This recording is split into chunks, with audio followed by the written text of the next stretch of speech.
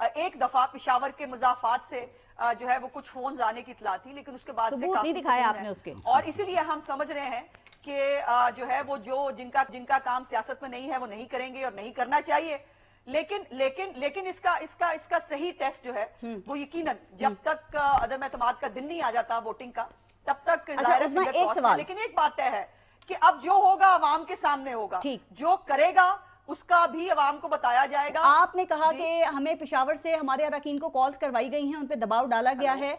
तो इसके सबूत भी तो सामने रखें। डीजी आईएसपीआर ने इसकी तरदीद की है।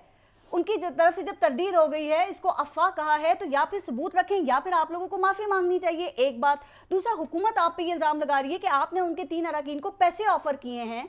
तो क्या हम ये छांगा मांगा की सियासत देखेंगे दोबारा? चूँकि जो आपका साथ दे रहे हैं ज़ाहिर है वो फ़ीस अभी लिल्ला तो नहीं कर रहे होंगे ना आपके साथ नहीं खड़े हो रहे होंगे।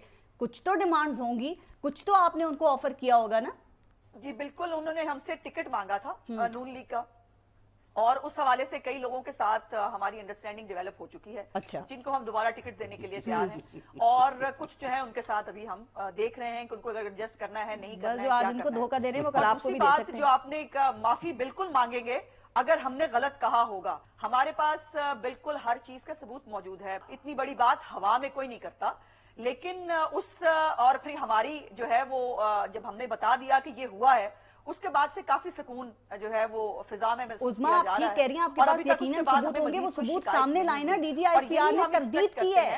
कि वोटिंग के दिन तक वो ऐसी कोई शिकायत नहीं होगी। फिर आप इमरान खान का हाल देखिएगा।